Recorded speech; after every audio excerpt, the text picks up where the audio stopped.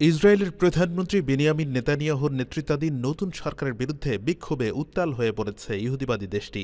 Israel সরকারের বিরুদ্ধে এতদিন কোটি কোটি মুসলিম আর মানবতাবাদীরা প্রতিবাদ করলেও এবার তৃতীয়বারের মতো ইসরায়েলের প্রধানমন্ত্রী হওয়া নেতানিয়াহুর বিরুদ্ধে নিজ দেশের মানুষই ফুসে উঠেছে। তার বিরুদ্ধে স্লোগান দিয়ে মাঠে নেমেছে দেশটির সাধারণ জনতা। তারা বলছে, নেতানিয়াহুর সরকার গণতন্ত্রকে ধ্বংস করার পরিকল্পনা করেছে।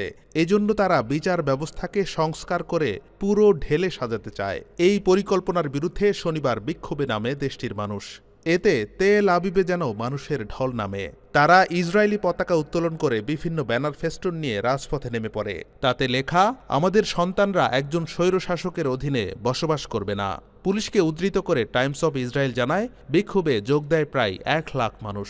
গত সপ্তাহেও নেতানিয়াহু সরকারের বিরুদ্ধে বিক্ষোভ করেছে হাজার হাজার মানুষ। তাদের অভিযোগ, ইসরায়েলের ইতিহাসে সবচেয়ে উগ্র ডানপন্থী এই সরকার। এতে আছে অতিমাত্রায় জাতীয়তাবাদী এবং আল্ট্রা অর্থোডক্সরা বিক্ষোভকারীরা বলছেন, নতুন এই সংস্কার পরিকল্পনা ইসরায়েলের চেক অ্যান্ড ব্যালেন্স সিস্টেমকে হুমকির মুখে ফেলবে। বার্তা সংস্থা রয়টার্সের প্রতিবেদনে বলা হয়েছে, বিচারকদের বাড়াবাড়ি রোধ করার জন্য বিচার বিভাগীয় সংস্কার পরিকল্পনা প্রয়োজন বলে দাবি করেছে নেতানিয়াহুর নেতৃত্বাধীন নতুন সরকার। তবে আইনজীবী সহ অন্যান্য গোষ্ঠী এই পরিকল্পনার তীব্র বিরোধিতা করেছে এবং ব্যবসায়ী নেতাদের মধ্যেও উদ্বেগ দেখা দিয়েছে। একই সঙ্গে ইসরায়েল সমাজে এই পরিকল্পনা ইতিমধ্যে গভীর রাজনৈতিক বিভাজন প্রশস্ত করেছে। ইসরায়েলের বিচার ব্যবস্থাকে সংশোধন এবং সুপ্রিম কোর্টকে দুর্বল করার একটি পরিকল্পনা সম্প্রতি উন্মোচন করেছেন নতুন ইসরায়েলি বিচারমন্ত্রী এসব সংস্কার বাস্তবায়ন হলে ইসরায়েলের পার্লামেন্টের পক্ষে সুপ্রিম কোর্টের রায়গুলোকে বাতিল করা সহজ হবে। এই বিক্ষোভে ইতিমধ্যে যোগ দিয়েছে সদ্য সাবেক প্রধানমন্ত্রী ও বিরোধী দলীয় নেতা ইয়ার লাপিদ। তিনি বলেছেন, দেশ রক্ষার জন্য এই বিক্ষোভ, জনগণ তাদের গণতন্ত্রকে রক্ষা করতে এই বিক্ষোভে যোগ দিয়েছে, সব বয়সী প্রজন্মই এতে উদ্বিগ্ন। সমালোচকরা বলছেন, নেতানিয়াহু সরকারের এই সংস্কার পরিকল্পনা ইসরায়েলের বিচারিক স্বাধীনতাকে পঙ্গু করবে, দুর্নীতিকে আরও উৎসাহিত করবে, সংখ্যালঘুদের অধিকার নষ্ট করবে এবং ইসরায়েলের আদালত ব্যবস্থাকে বিশ্বাসযোগ্যতা থেকে বঞ্চিত করবে। ইসরায়েলি বার অ্যাসোসিয়েশনের প্রধান আভি চিমি বলেন, তারা আমাদেরকে এক নায়কতন্ত্রে পরিণত করতে চায়, তারা গণতন্ত্রকে ধ্বংস করতে চায়, তারা বিচার বিভাগীয় কর্তৃত্বকে ধ্বংস করতে চায়। বিচার বিভাগীয় কর্তৃত্ব ছাড়া কোনো গণতান্ত্রিক দেশ নেই।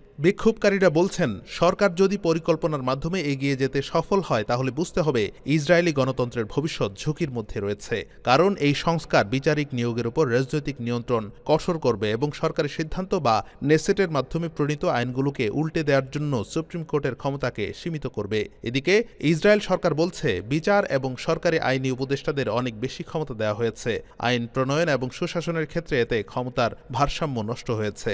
এজন্য আইন পরিবর্তন করা দরকার। এর বিরুদ্ধে বিরোধীদের প্রতিবাদ বিক্ষোভ সত্ত্বেও নেতানিয়াহুর সরকার পরিকল্পনা বাস্তবায়নে প্রতিশ্রুতিবদ্ধ।